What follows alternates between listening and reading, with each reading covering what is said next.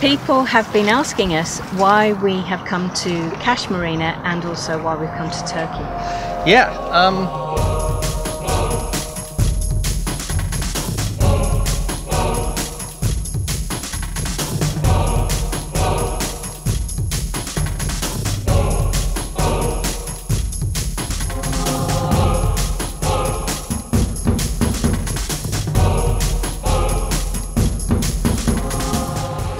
before 7am on a Wednesday morning and we're on a bit of an adventure today.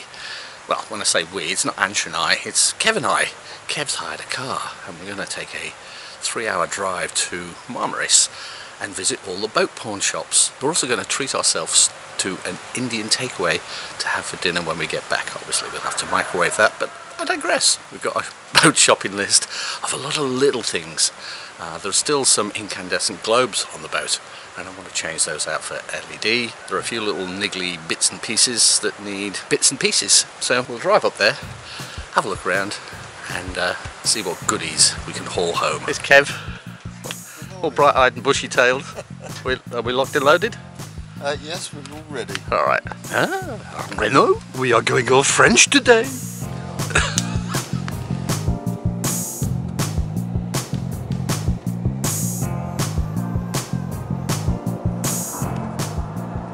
Was an easy three hour drive down from Kaş to Marmaris and we've just stopped at our first place that we're going to check out. This is an electrical store and we're going to see if they've got oil filled electric heaters because planning ahead for winter on board the boat an oil filled electric heater is probably one of the most effective ways of heating the boat because it really doesn't put out a lot of moisture and as we know in the winter when it gets cold moisture in a boat is not good. Anyway, we go inside this place and uh, see what they've got. See if we can complete that mission on stop one. Okay, they didn't have any oil-filled electric heaters in that place, but I did score a printer cartridge and a mouse mat with a gel part of it for resting my wrist when we're sitting at the computer for many hours. Onwards to the next store. Kev's the chauffeur today. He knows his way around Marmaris. we are still hot on the trail for these oil-filled electric heaters. Kevin's just spoken to a guy from one of the yacht brokers who he knows very well and he's pointed us in the right direction. But seeing as we were close to Marmaris Netsel Marina, we've come in to have a chat with the office staff because Kev's got to pick up some paperwork. Yeah, we're not really just here to pervert all the nice boats. People have been asking us why we have come to Kaş Marina and also why we've come to Turkey. Yeah, well, the COVID situation gave a lot of uncertainty about where we could travel, where we couldn't travel, things that may change as we were traveling somewhere. So we didn't want to take a chance of traveling through to other parts of Europe from Greece and having to get stuck uh, for another year and another winter in uh, a European country where basically our Aussie dollar was getting thrashed by the exchange rate with the euro. Especially in marinas as well, if we Well, because yeah. we would have had to have looked for a marina for winter. for winter, definitely. So we made the decision to come back to Turkey, where the Aussie dollar and the Turkish lira are more in our favour, um, so our, our budget lasts a lot longer. Yeah. That was one of the main reasons. Yeah. Other reasons are we've got lots of really good friends here already, and there is such a lot of sailing opportunities up and down the coast with many, many beautiful anchorages, Yeah. sheltered. Yeah. Yeah. Sailing season in Turkey is definitely a lot longer than the rest of the Mediterranean. So why Setur Marina and why Kaş Marina? Well, I think Aannsha's ans- answered the why Kaş Marina. We have a lot of friends here, and it's a beautiful marina. In fact, it's one of the most attractive marinas I've ever seen. The town itself is a gorgeous town, as you'll have seen from our previous videos when we were here last. The other thing is that Setur Marina has 10 marinas in a chain. And when you take out a 12 month contract with any one of those marinas, you get 30 days access at each of the other marinas. So if we decide to go to Istanbul, for example, uh, we can sail all the way up the coast of Turkey to Istanbul and uh, we can stay in a choice of two marinas right in the, uh, the area of Istanbul. And all Any the way marinas along the way. as along well. the way as well. Yeah. So you know we're not really restricted to just Kaş and you know going out for a week this way or that way. We could actually spend a good four or five months just going up to Istanbul if Yeah. we really wanted to. And, you know, also at least to um, Antalya. As far as And uh. Finike, yep. Yep. Yeah. So that's another reason. And also, they do have an offer so that if somebody in one of the Setur marinas invites you or introduces you to the marina and you take a 12 month contract out and they have a 12 month contract, you each get an extra month. How can you say no to that? So when we got introduced, we got 13 months because Jim on Akron introduced us. Yeah. And we introduced some friends to Finike. Mm. They have a catamaran down there. They got an extra month and we got an extra month. So mm. it, it works out quite well. Yeah. Kaş Marina, the Marineros are brilliant. Fabulous. Just really good at their job. They know what they're doing. Um, the, the fairways are huge. Uh, other marinas, we've heard other people talk about other marinas and how cramped they are and how the fairways are so small that you have to be, you know, really skilled to be able to manipulate your, your vessel in the very short confines. So th- there's that. And the, the facilities on site here are very good. There are full maintenance and service facilities as well. And um, there's a chandler on site.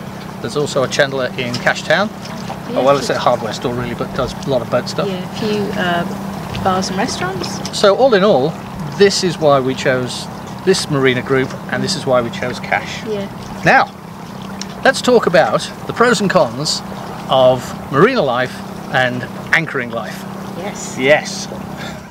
Directly behind me is probably one of the most popular boat pawn shops here in Marmaris in Turkey, East Marine. And uh, we're just going to go in there and see if we can tick off a few things from our list. But come in and have a look around.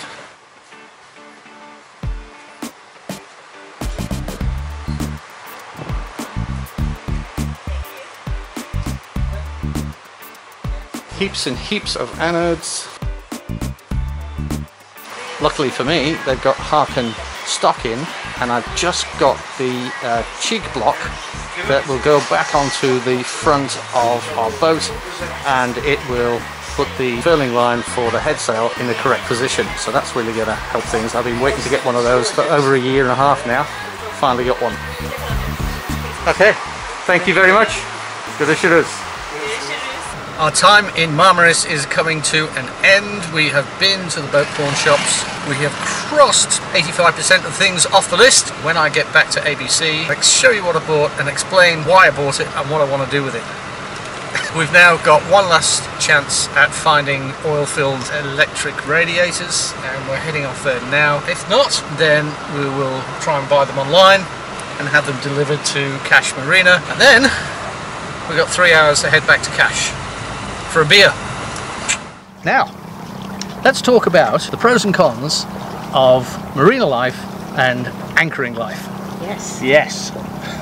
We've both got pros and cons for each. Yeah. And some of them are different. Yeah, aren't but, they? but I think you're more of a marina girl and I'm more of an anchor boy. Well, I can't say that. I just think I'm more. I enjoy the benefits of the marinas more than you do. I think. Okay, well let, let's look at the pros, the benefits of marina life. All right. Okay. Well, where do you start? Hot Hollywood showers, 24/7. Okay, I'll agree with that. It's also really easy and convenient to get on and off ABC using the passerelle rather than you know bouncing up down on the dinghy. Especially if you've got cases. Yeah. Well, yeah, I guess. Yeah. Okay, I'll give you that one. Of course, with the long hot showers, we also get access to normal toilets, so we don't have to always consider, you know, how full the uh, Blackwater tank is getting, and then consider, okay, well, it's probably close to needing emptying, so we've got to go move on to somewhere where we can empty it. Yeah, how far is So- the nearest pump out so- place? That is a pro for How sure. long can you hold on?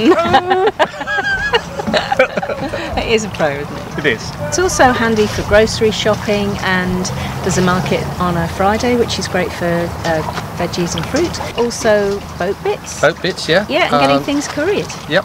Anything we need. address. We, we do have a permanent address. And also, you know, official paperwork as well that need an address. Yep. Got one. Got one. It's great to be able to meet up with old friends and new friends socially. Yeah, uh, there is a large social aspect to living in a marina, and I'm, I want to make a point about that in the cons section about marina, but I'll, I'll hold off on that. I'm not sure if that microphone's picking up this little bit of wind that's now picking up when we've decided to film, but um, generally, uh, if you are in a marina, then you are protected from big winds and big swells. And of course, in the Mediterranean in the wintertime, particularly January, February, you can get some pretty gnarly storms coming through. Well, I can use the microwave, hairdryer, iron, and other high wattage items on board because we're plugged into shore power.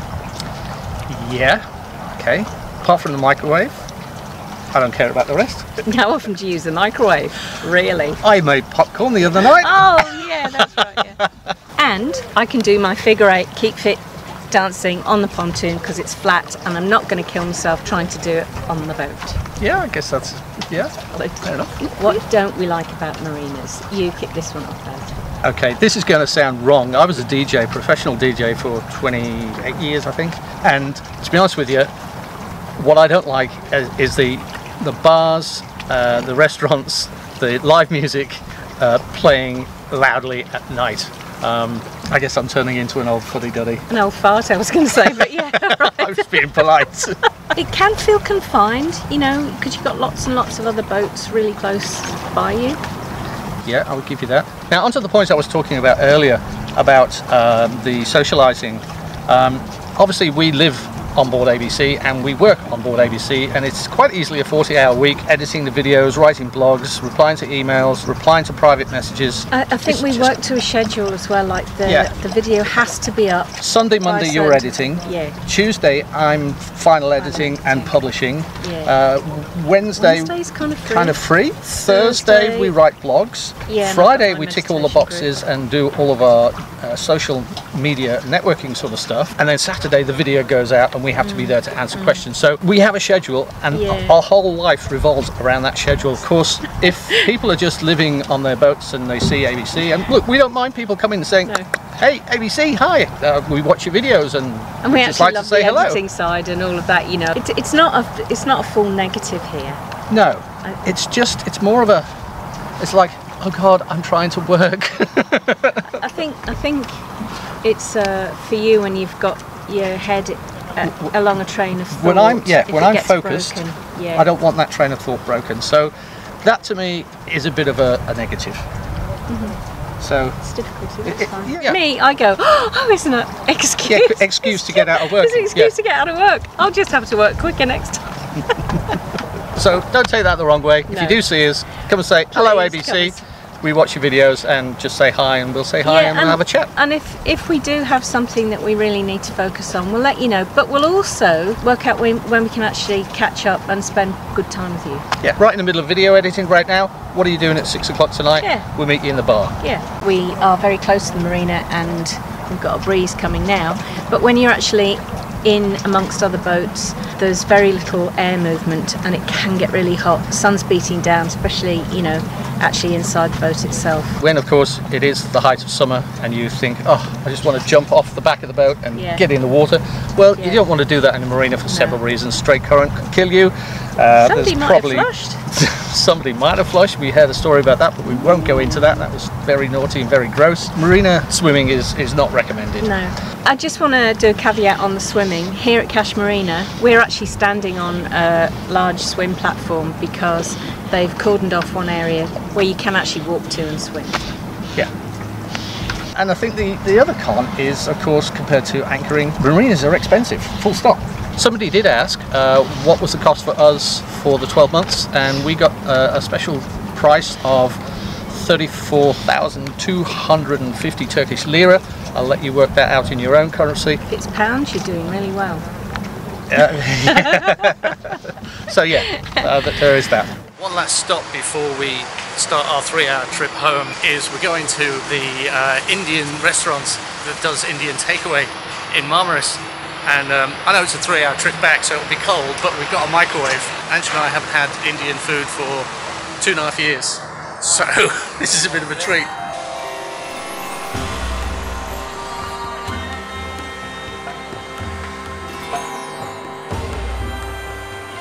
We've just walked into this Indian restaurant in Marmaris, and while we're waiting for our takeaway order to be prepared, I noticed this clock on the wall here. It says Bradford time.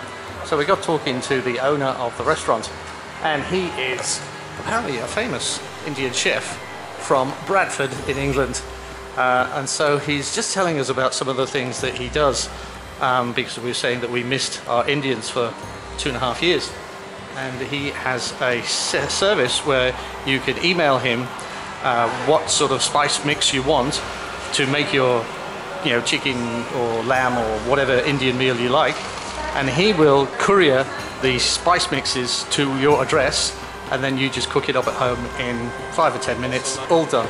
Non veg, pilau rice, everything what you normally have in India. I've got sys- system, I supply many many places in Istanbul, Ankara, also Didim as well. So why not us? so this is going to be a new service Yes, to Kaş please. thank you Try it out. We will And try. Let everybody know. we will Thank you. So, what do we like about anchorages, Baz? Okay, uh, well, generally there is always a breeze blowing through at anchor, which is nice, and you're not hemmed in with other boats, so the breeze Can get to you. blows to you Yeah. all the time. And in, in saying that, anytime you want, the pool is open 24/7 right off the back deck. Yep. Also, you've got ever changing vistas. At the one anchorage, you've got, as the boat swings round, you've got lots of different views of the one anchorage, and then you've got the freedom to go from place to place, so you've got lots of different anchorages by day and by night. Anchorages are generally nice and quiet and peaceful places at night. There might be someone having dinner, but generally they won't be up until midnight or one o'clock or two o'clock or even three o'clock playing loud music. I do like getting dressed up, and I also like not getting dressed up, and that's one of the beauties about being at anchor. You don't have to. You can wear pretty much whatever you want, and a bikini if it's really hot. All day, you don't have to worry about breaking any social conventions.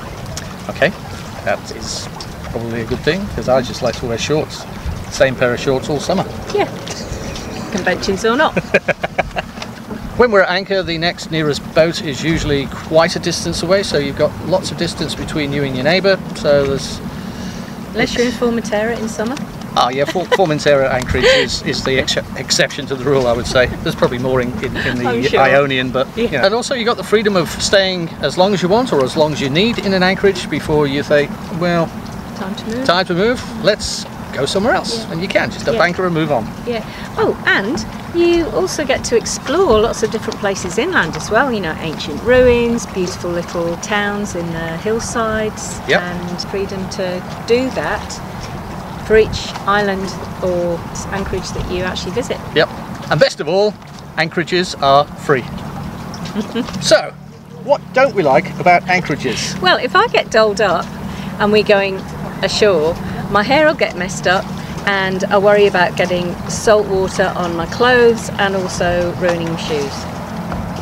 Not a good look. Okay, yeah, yeah. Doesn't bother me. I wear the same shorts, same shorts to go ashore, same ones as I wear all day. I mean, it takes longer for me these days to get a good look and to have it just blown away in about five minutes on a dinghy. No. I like to ride the dinghy fast. Our freshwater consumption has to be monitored and uh, taken into consideration for where we can next fill up with fresh water. Your black water has to be monitored, of course. So, you know, that, that is a con. There's only so much black water we can carry before we need to pump out. It can get noisy during the day with day tripper boats and banana boats and jet skis. Yeah, uh, they do go away at night time though. This is the bonus. Yeah. Wi-Fi at anchorage can sometimes be very slow or non-existent, uh, so you have to pick and choose your anchorages, especially us, if we want to do work um, uploading videos and answering emails. Yeah, true. Also, I've only got the choice of gas or gas to cook with. It's not a big deal, but I've, you know, it's just a two-ring burner, so not no big parties and things. Access to the shore or back to ABC via the dinghy can be a little bit tricky at times, especially if you've got a bit of a strong wind blowing and the anchorage is a little bit lumpy. and the boat's going like this, Yeah, and, and the, the dinghy's going like this, and I'm trying to get the rope over the cleat, and Barry's trying to keep it all together. yeah. So those are, are pros and cons Yeah. of anchor life and marina life. Hmm. If you have any pros or cons about marina life or anchor life, then please feel free to leave them down below hmm. in the comments section and we'll see if maybe we can include them in a future video. Hmm. If you like this video, of course, don't forget to leave us a big thumbs up. And if you're not already a subscriber, click the subscribe button, click the bell icon, and you'll get notified every time we release a brand new episode of Sailing ABC. And now for something completely different. Yeah, we'd like to do our third annual Q&A this new year and we want you to let us know what questions you want answered. So again, in the comment section down below, leave your questions about this year, how things have been with COVID, what our plans are for the future, anything you like really, and we'll make sure to include them in our 2020 stroke 21 Q&A session. Yeah, looking forward to that one. Join us next week on Sailing ABC as we welcome Michelle on board as our first patron guest. And we have a wonderful week exploring Kekova.